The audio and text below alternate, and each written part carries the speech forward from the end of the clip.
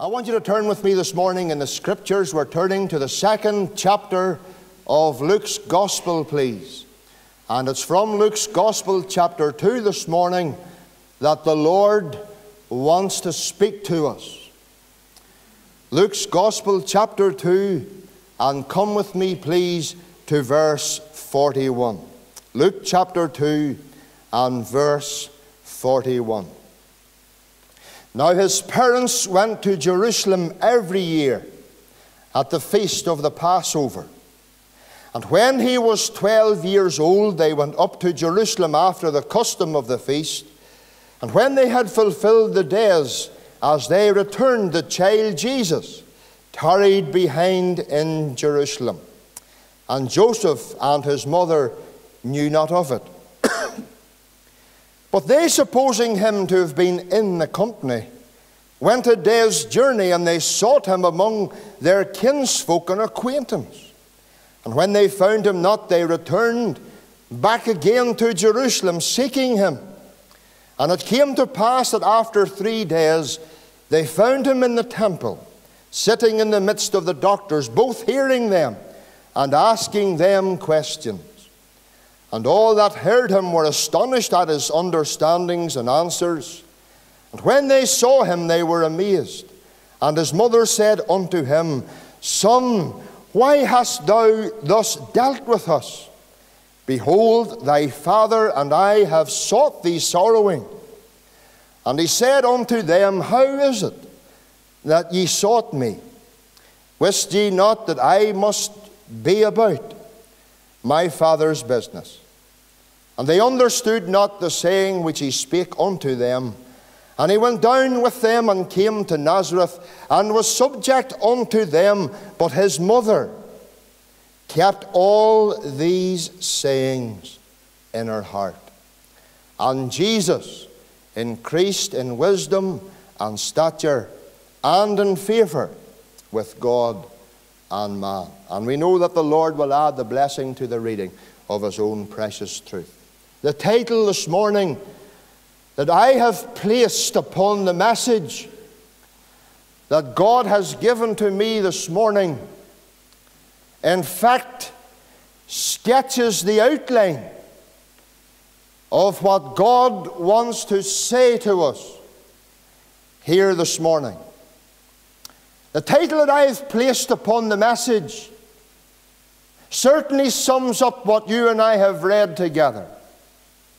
And the title that I have given this message this morning is The Day When Christ Was Lost. The day when Christ was lost. And, child of God, obscure as that title may seem this morning, but it's the very thought it's the very thought this morning that God wants you and I to consider. The day when Christ was lost. Losing Christ,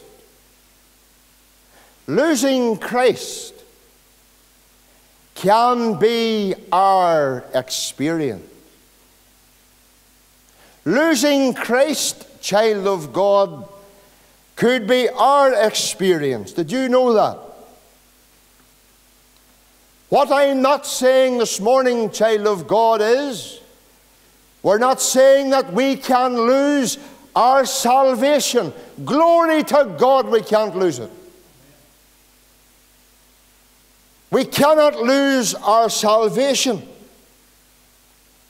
Losing salvation, no. Losing Christ, yes. We can lose Christ. We will never lose our relationship with Him.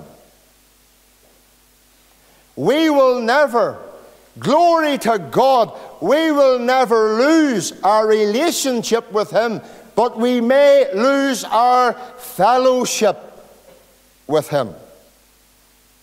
John chapter 10 and verse 28 signs and seals that fact this morning. The Lord Jesus says, I give unto them eternal life, and they shall never perish, neither shall any man pluck them out of mine hand. Christ will never lose us, but we may lose Christ. That sounds like a contradiction, doesn't it? Well, it's not a contradiction it's a very fact. The day when Christ was lost, the day when Christ was lost was the very experience of the couple known of, as Mary and Joseph. The day when Christ was lost happened to the last couple you could ever have imagined it to happen to. Imagine it happening to Mary and Joseph. Imagine that was the very couple that who lost Christ that day. What a precious treasure the Lord Jesus Christ was to this couple. What a precious treasure child of God that the Lord Jesus Christ was to Mary and Joseph. But listen to me all children are precious. Psalm 127, verse 3 says, Children are an heritage of the, of the Lord, and the fruit of the womb is his reward. But to Mary and Joseph this morning, he wasn't just a precious child, he was the promised child. Promised from eternal years. Mary and Joseph not only had the precious child, but he was the promised child. He was God's son. He was the Savior of the world. Yet, yet, even for Mary and Joseph, there was that day when they lost him. When they lost him. As I paused and as I pondered and as I considered over the passage that God the Holy Spirit brought me to in this week just that, that has gone, I began to wait and to watch what the Lord would have me say. All of a sudden, three questions came upon my heart Who were they that lost him? Where were they that lost them? And when was it they lost them? Who were they that lost them? Do you know, child of God, that it ever strike you there was a day when Christ was lost?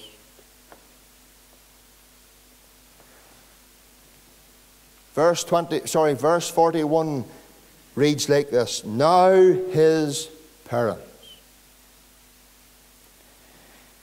No child of God, perhaps before we begin to complain about this couple this morning, I want to stand in their corner and I want to fight for them in their corner.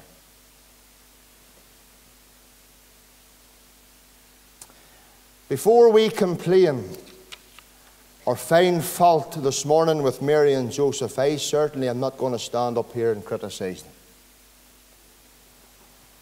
I want to play their part. I want to take their part in all of this this morning because here was a young couple, a young couple who God divinely, clearly, directly had chosen to be the channel through which the Lord Jesus Christ could come from heaven onto planet Earth. In spite this morning of what happened here in Luke chapter 2 this morning, listen, God saw something in this young couple that God could trust this responsibility to them. Let me remind all of our hearts this morning listen, Mary and Joseph didn't have their hand up and say, Lord, Lord, let us be the couple to bring your son into the world. Mary and Joseph didn't pray every night, Lord, may it be us that may be the channel through which your son may come into this world. Listen, Mary and Joseph didn't put their hand up to be in this position, they didn't pray to be in this position. God chose them. God chose them. God saw something in this young couple this morning that chose them to be responsible, to be the channel, the channel through which God's Son could pass from eternity into earth. They came from Nazareth, that despised, forsaken place. Even Nathanael said, Can any good thing come out of Nazareth? Listen, when God was looking down, He wasn't looking down to mansions. He was looking down this morning to a poverty stricken city. And in that poverty stricken city, there was a poverty stricken couple. It wasn't their finances that attracted God to this young couple. Do you remember when the Lord Jesus Christ was born? Do you remember eight days after he was born? They went to the temple and they went to offer the sacrifice. Do you know what their sacrifice was? Their sacrifice that day was two turtle doves and two young pigeons. The poor man's sacrifice, the poorest sacrifices of all. They couldn't afford the lamb. The two turtle doves and the two young pigeons was the poor man's sacrifice. That's all that they could afford. And God saw this young couple, not only where they were, but who they were. And God saw their faithfulness. And so God chose them. Tell me this, child of God, is there anything about you this morning? Is there anything about me this morning? Is there anything about any of us this morning that would draw God's attention to us?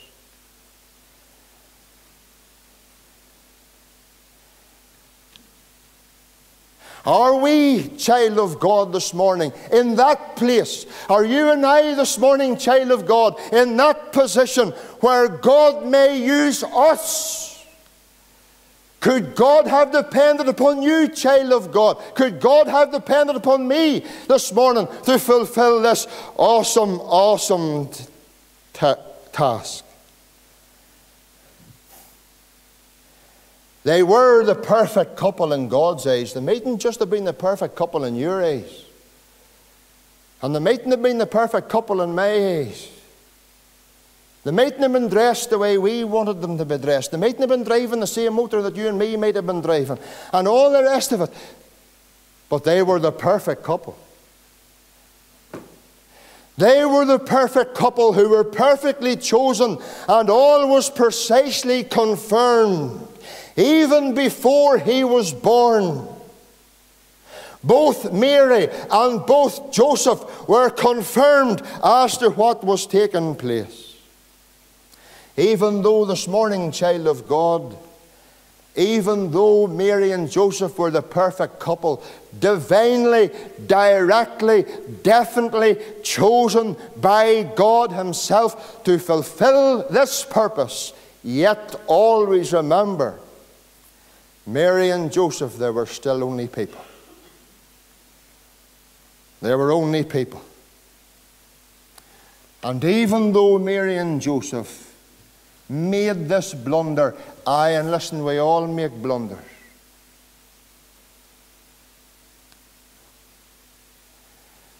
You know the lovely thought is? God never loved them any less. God never loved them And he left. Who were they that lost him? The very couple God had divinely, directly had chosen.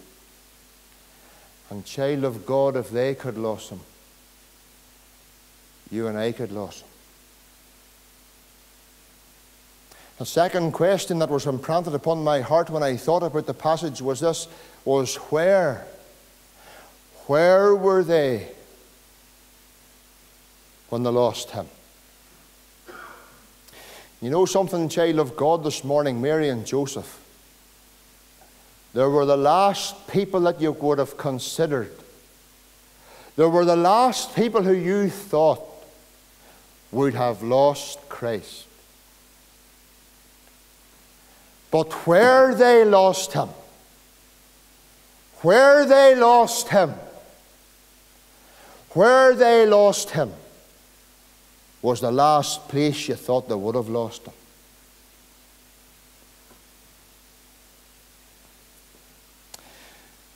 The least of people to lose him, but then the least of places was where they lost him. It says in verse 41 Now his parents went to Jerusalem every year at the feast of the Passover.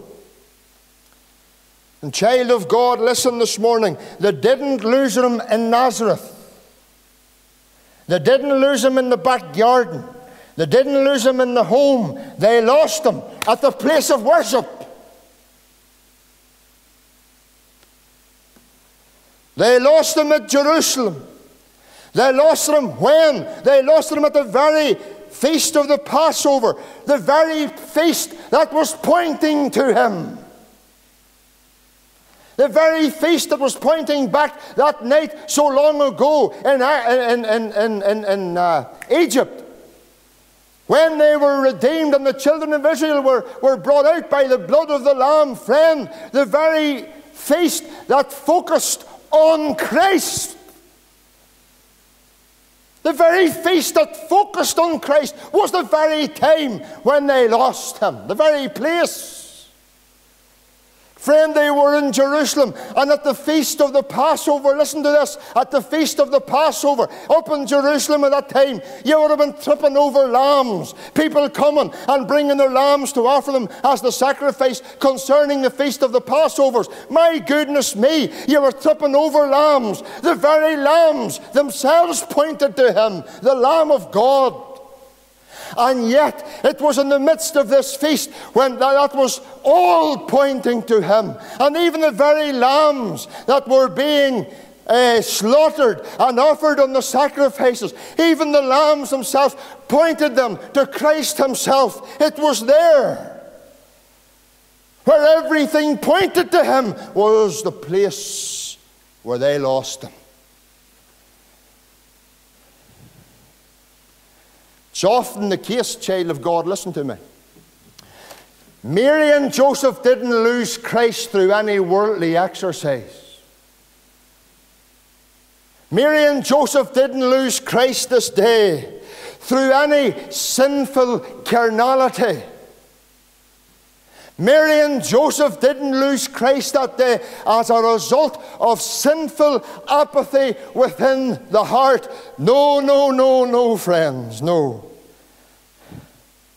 Where they lost him was the very place that pointed them to him. You know, I could imagine them down in Nazareth, you know downstairs, upstairs, whatever their home was, outside, and inside, they kept that secured, watchful eye upon them, upon him.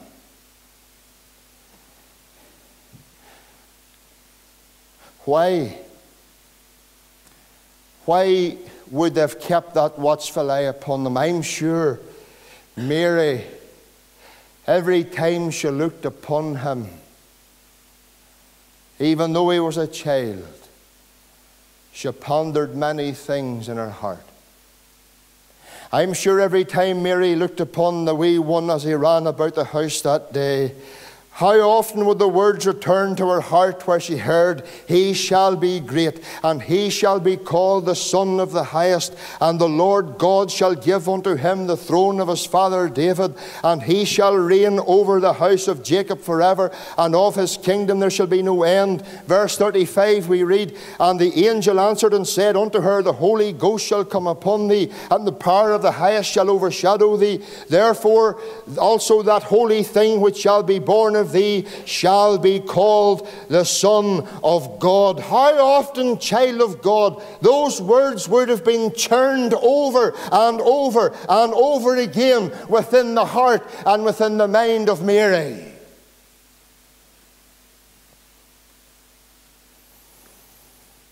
Every time she looked upon him, Every time she watched him, every time she saw him, she turned within her mind and within her heart who this child really was. But now, this morning, they're at the place of worship. They're at the place where this morning, child of God, everything pointed to Him. It was there. It was there. Listen to me. It was there where they lost Him. They didn't lose him at home.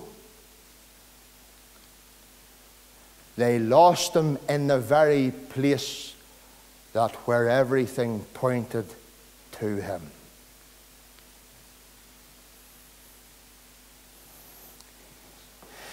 Verse 41, it says, Now his parents went to Jerusalem every year. Mark those two words, every year. Do you know what can happen to our worship, child of God? it can become a familiar ritual. Every year, it was the familiar ritual to return to Jerusalem.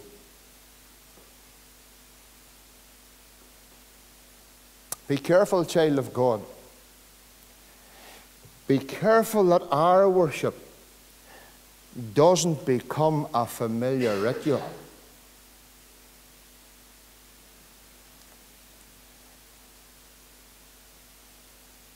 Now, here's where the rubber hits the road. When I'm talking about our worship becoming a familiar ritual, I'm not talking about the worship that happens in here in the tabernacle. I'm talking about our private worship. Our private worship. Is it a familiar ritual with you, child of God? or is it real? I've often heard men say, Our church is boring, our church is dead, our church is lifeless. You look forward to getting out rather than looking forward to get in. Do you know what happens in such a case like that? They blame the wrong people and they blame the wrong place. Why is that? The reason be it is this if our private worship at home in the secret place is not right, it spills over into our public worship.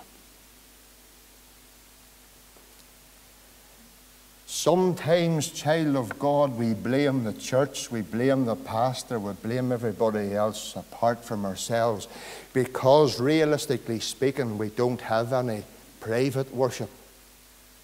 Or if we have a private worship, maybe it's our own private worship that becomes dead, it becomes lifeless, it becomes stale. And do you see, child of God, of your worship and my worship in our private closet where nobody else knows about only God, if our private worship becomes stale and our private worship becomes nothing more than a familiar ritual, then it tells the tale in public worship.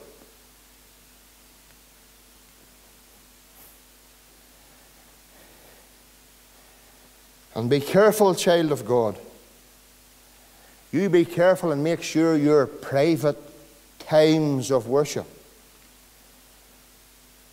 don't become stale and lifeless. No, it was at the happy feast of Passover. Heed this warning. Heed this warning. It's the happiest moments that are the most dangerous moments. The happiest moments are the most dangerous moments.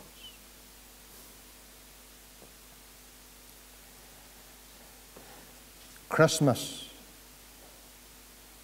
Everything about Christmas, like the feast of the Passover, points to Christ, doesn't it?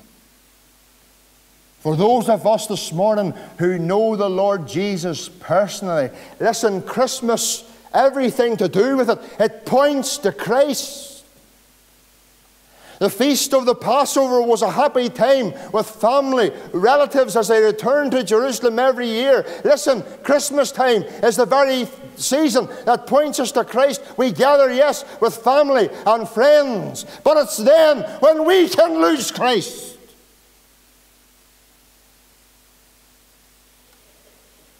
Sometimes we can get distracted with the family, and we get distracted with the food, and we can get distracted with the fun, and get distracted with the fellowship one with the other, and yet lose Christ in it all.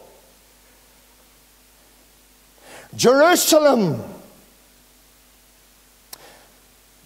It mattered not concerning the sacred ground upon which they stood on. It mattered not concerning the sacred ground upon which they stood on, because the sacred place and the sacred purpose did not prevent them from losing Christ. And listen, child of God, these very things can actually be a distraction to us. Oh, I.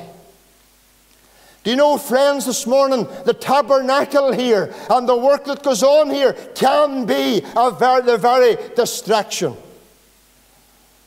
The pastor himself could be the distraction. The very people could be the distraction. Anything is a distraction this morning, child of God, if it takes our mind away from Christ. It's a dangerous thing.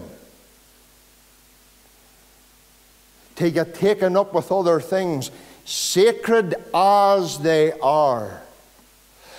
It is dangerous to get taken up with things, spiritual things they may be, and get distracted from Christ.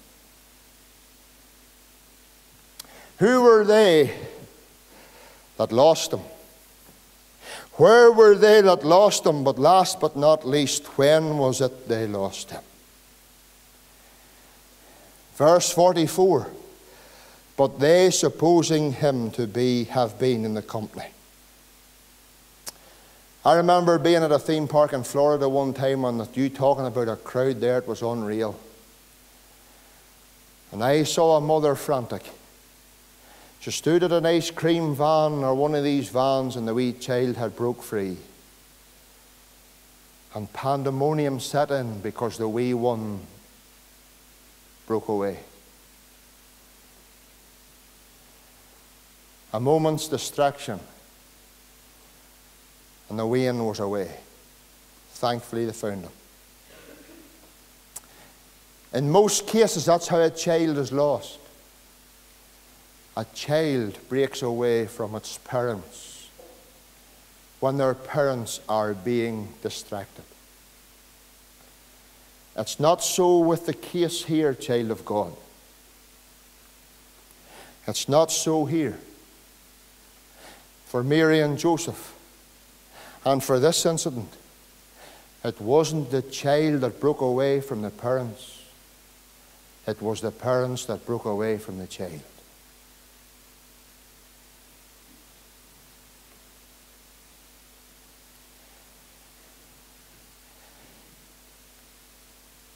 And they went a day's journey. Have you seen Jesus? No, he's not with us. Have you seen him, Mary? I haven't seen him, Joseph. Go down to the far corner there and ask the folk, have you seen him? No, he hasn't been with us. Is he with you over here? No, he's not with us. Has anybody seen him? Oh, Mary! Oh, Joseph! We've lost him! We've lost him! Christ of God, we've lost him! The promised Messiah, we've lost him! We've lost him!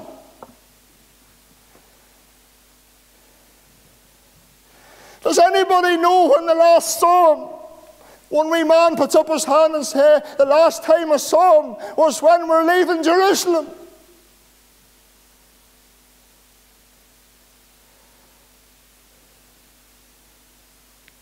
Get back. Get back Jerusalem, and we'll seek him there. Oh, as I bring this message to a close now, you lost him. You don't enjoy that unique, blessed, close, near fellowship that you once enjoyed. You could say this morning, like old Cowper of old, Where is the blessedness I knew when first I saw the Lord? Where is that soul refreshing view of Jesus and His Word? I don't have it anymore. Is that you? Have you lost them? And you take a wee, you take a wee moment now and you just need to do what Mary and Joseph need to do, need to have done. You need to go back to where you lost Him. Is it an unforgiven sin or a spirit or some wrong attitude you possess this morning? Maybe that's the point where you lost Him. You get back this morning and find him. Because you will find him if you search for Him with all your heart.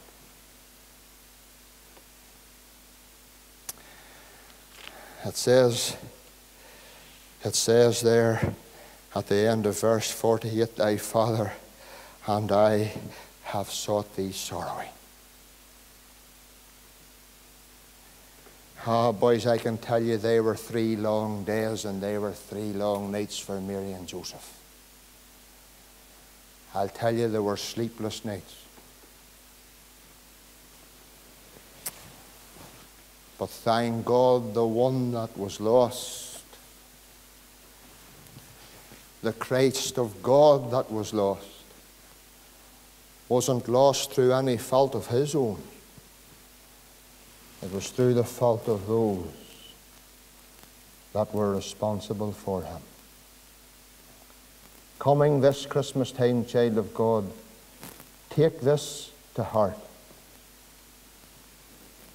Love Christ this Christmas. Whatever you do, love Him. Don't lose Him.